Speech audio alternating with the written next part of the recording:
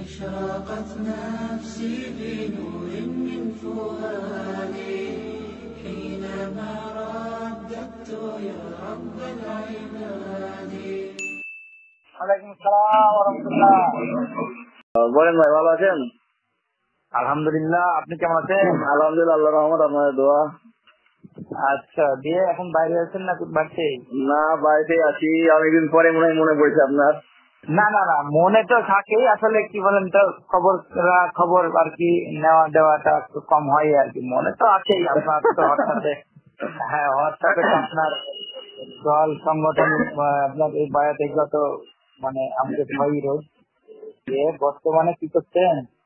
বর্তমানে বসে আছি এক ভাইয়ের সাথে কথা বলছি। আচ্ছা আপনি পেশা হিসাবে কি আছে এখন তাহলে? পেশা হিসেবে এখন পেশা হিসেবে কিছু নাই। ওই দাওয়াতের কাজই চলছে। তাহলে ওদিকে আজকে বেড়াতে আছেন একবার? ঠিক আছে ইনশাল্লাহ গেলে জানাব আপনাকে। তাহলে এখন আপনি ইতে নাম নাকি সালাফিদের সাথে নাম নাকি? আমি সবার সাথে আছি। সবার সাথে আছেন তার মধ্যে ই এই হ্যাঁ যেমন আমি সেদিন সালাফি এসেছিল করে যে একটা মানে একটা সভা হলো মোটামুটি একটা মসজিদের মধ্যে আর কি।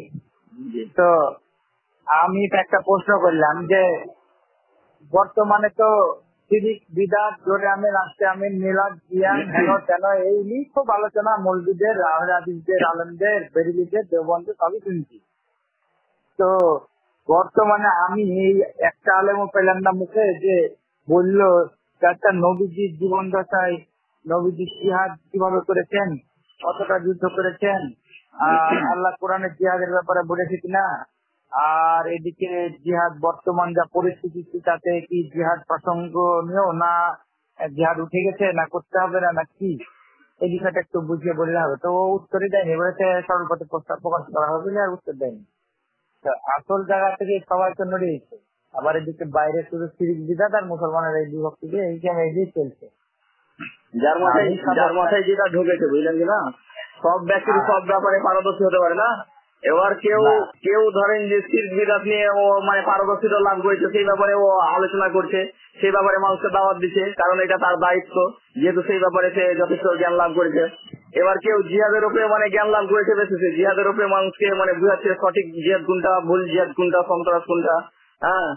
মানুষ আর কেউ অন্য কোনো বিষয়ে পারদর্শী হয়েছে সেই বিষয়ে এবার সবাকে সবটাই কথা বলতে হবে এমন একটি বিষয় নয়। মানুষ যে যেটাকে মানে যে যেটার ব্যাপারে মানে ভালো ইলম রাখে সে তাকে সেটা বলা তার জন্য খরচ সুতরাং কেউ যদি একটা বিষয়ে ভালো ইলম রাখে তো অন্য বিষয়ে ভালো ইলম রাখে না তো অন্য বিষয়ে বলা তার জন্য খরচ নয় বরং গুনার কাজে হতে পারে।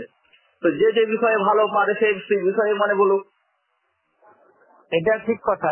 তার মধ্যে আর একটা বিষয় যে ইসলাম তো শুধু আপনি নামাজ আমি বুঝি বলে নামাজের দাওয়াত দিলেন বা ইসলামে হজের বুঝি বলে হজের জাকাত বুঝি না তাই জাকাতের দাওয়াত দিলাম না।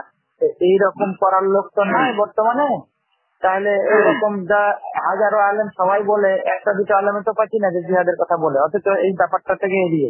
যেমন ধরেন যেমন ধরেন ধরেন আপনি ধরেন সলাতের বিষয়টা বেশি বুঝেন আপনি মানুষের সলাতের জন্য বলছেন। আমি জাকাতের ব্যাপারটা ভালো বুঝি আমি জাকাতের জন্য বলছি।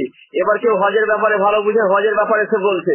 তাহলে আমরা সবাই মিলে পূর্ণাঙ্গ আমরা কেউ কিন্তু একাই পূর্ণাঙ্গ নয়। এটা কেউ ভাববে না যাতে যে ও একজন ব্যক্তি মানে পূর্ণাঙ্গ মানে সে ইসলামকে বুঝে বা পারদর্শী এমনটা বিষয় নয়। মানে এক একজন এক একটা বিষয়ে মানে পারদর্শী হতে পারে। তো আমরা সব মিলিয়ে আমরা সব মিলেই পূর্ণাঙ্গ। হ্যাঁ সে তো অবশ্যই কিন্তু একটা দায়ী যারা ভালো দায়ী যারা বা দায়ের দাওয়াতের কাজ করে যারা তাদের তো উচিত সার্বিক ভাবে সবগুলোকে বলা। মানে যে যে বিষয়টা ভালো জানে সে সেই বিষয়টা বলে। হ্যাঁ তো ভালো জানলো সবগুলো নামাজ হজ জাকাত রোজা এগুলো সবাই বলল জিহাদের ব্যাপারে কেউ জানলো না সেটাই জিহাদের ব্যাপারে কেউ জানে না জিহাদের ব্যাপারে বলে না এমনটি বিষয় নয়। মূল বিষয় যেটা হচ্ছে যেমন আপনাকে বলি যে রমজান মাস যখন এখন সাধারণ ভাবে মানুষের কাছে রোজার আলোচনা আপনি শুনতে পাবেন না। হ্যাঁ? যদি আলাইকুম সিয়াম আর কেউ আয়াত তেলাউত করে না কখন তেলাউত করে? যখন রমজান ঢুকছে এই মুহূর্তে কিংবা রমজানের সময়তে ওই আয়াত তেলাউত আমার রোজা রোজা সম্পর্কে বুঝায় তো জিহাদ ফরজ হওয়ার জন্য কতগুলো মানে শর্ত রয়েছে সেই শর্তগুলো পূর্ণ হয়নি। সেই সব শর্তগুলো পূর্ণ হওয়ার এখন মানে আশাও মানে নেই। সুতরাং ওই রকম প্রেক্ষাপট যখন আসবে তখন আলেমরা তখন জিহাদের ব্যাপারে বলবে। যার কারণে জিহাদের ব্যাপারে বলতো না। এখন শুধু এতটাই বলা মানে এই যে মা- আমাদের এখনও শর্তগুলো পূরণ হয়নি। সুতরাং মানে খরচ হয়নি। যার কারণে ওই ওর বিস্তারিত আলোচনা মানে নাই, করে না। ব্যাপার। মানে বর্তমান যা পরিস্থিতি চলছে তাতে জিহাদের ব্যাপারে কোন রকম কিছু করা যায় না। জিহাদের ব্যাপারে জিহাদ ফরজ হওয়ার জন্য যে শর্তগুলো আছে সেই সব শর্তগুলো এখনও পূর্ণ হয়নি। যে কোনো কাজ যেমন আপনার আল্লাহ তালা বলছেন যে রোজা ফরজ করা হয়েছে তো রোজা ফরজ দিয়ে আমি আমি আয়াত লাল করেছিলাম এবং খুব বড় কড়া বক্তব্য রেখেছিলাম রোজা করতে হবে রোজা ফরজ। যে আপনাকে বললাম কালকে রোজা করতে শুরু করেন তাই এটা যুক্তি হবে না অযুক্তি হবে? তো তার একটা নির্দিষ্ট সময় রয়েছে নির্দিষ্ট একটা কতগুলো শর্ত রয়েছে সেই সবগুলো পূর্ণ হবে তারপরে।